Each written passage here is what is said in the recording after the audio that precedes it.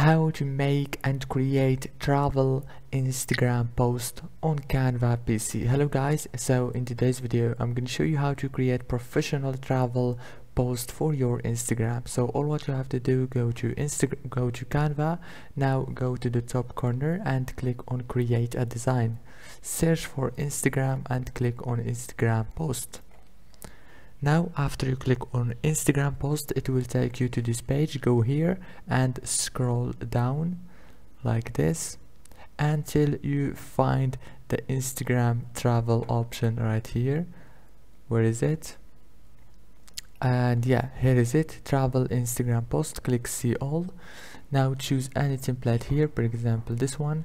And now you can change the text and the picture and everything this one too I like it as you can see. After you finish go here and click download. If this video was helpful please don't forget to like and subscribe. Thank you so much for watching